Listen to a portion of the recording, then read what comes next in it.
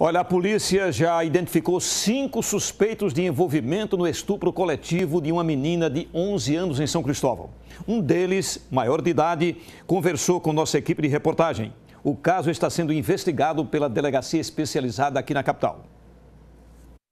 Três dos cinco adolescentes suspeitos de participarem do estupro coletivo em São Cristóvão compareceram hoje à sede do Departamento de Grupos Vulneráveis na capital. No depoimento desta quinta-feira, a menina de apenas 11 anos chegou a dizer que ingeriu uma bebida que possivelmente tivesse droga, isso antes da violência sexual.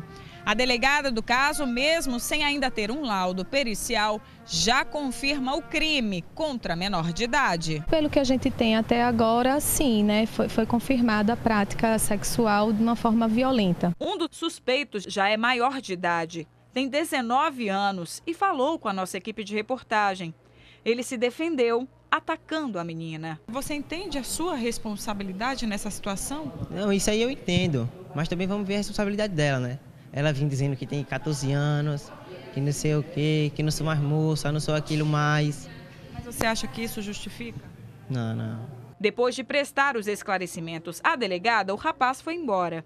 O Conselho Tutelar de São Cristóvão acompanhou todos os depoimentos e conta sobre o que os outros dois adolescentes falaram na delegacia. Os adolescentes falaram que foram por livre e espontânea vontade, não forçou a nada. Né? Mas aí quem vai investigar será a polícia, não é a parte mais do Conselho Tutelar. Sobre a outra vítima de estupro em São Cristóvão, a que mostramos ontem aqui no Jornal do Estado, depois de contar sobre a violência na delegacia, a delegada Lara Schuster reafirma que, no caso dele, as investigações acontecem em São Cristóvão. Nós fizemos a ouvida dele ontem e encaminhamos hoje pela manhã para a 12ª DM.